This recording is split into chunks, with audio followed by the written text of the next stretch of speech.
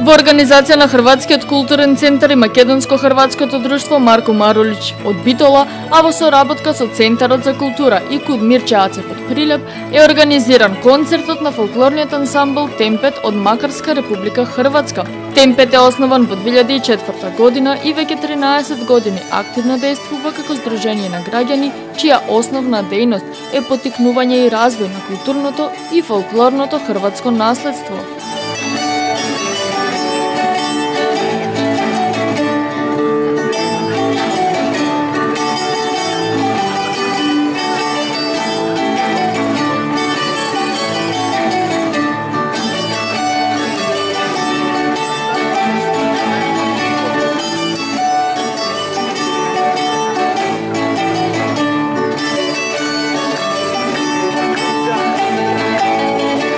Единствен ансамбл е во регионот на Макарска од овој вид и во своето релативно кратко постоење реализираше повеќе значајни настапи.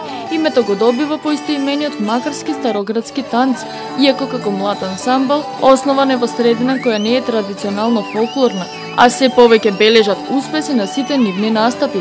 Тука се издвојуваат Настапите на општинските фолклорни смотри и регионалните во Метковиќ, државната смотра на фолклор Винковачка есен, фестивалот Прочаковец, на кој Темпет добива највисоки оценки за ражанското оро и староградските танци на Макарска, а во кореографија на истакнатиот хрватски кореограф Бранко Шеговиќ. Тука се гостувањата во Македонија и Босна и Херцеговина. Веќе 8 години традиционално го организираат меѓународниот етнофестивал во Макарска.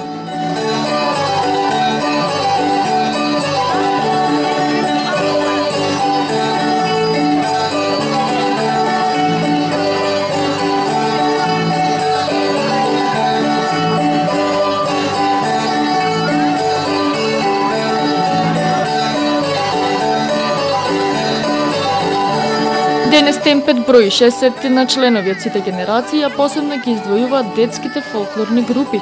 Концертот во Битола е во рамките на турнејата на Темпет во Македонија, пред се како дел од концертот на Куд Мирче Ацев од Прилеп, кои оваа година одбележуваат јубилеј од 70 години постоење. Со овој македонски фолклорен ансамбл, Темпет соработува веќе 7 години. Имено минатата година, Куд Мирче Ацев беа гости во Макарска, каде изведоа повеќе концерти. Специјални гости на концертот во Битола се Куд Илинден и Асоциацијата за фолклор Плетенка, а како дел од истиот, традиционалните хрватски песни ќе ги изведе вокалниот состав при Темпет.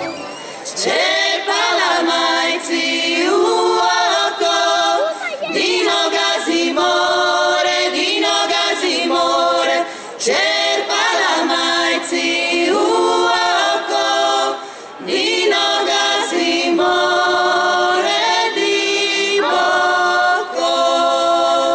Овој хрватски ансамбл после концертот во Битола настапува во Прилеп.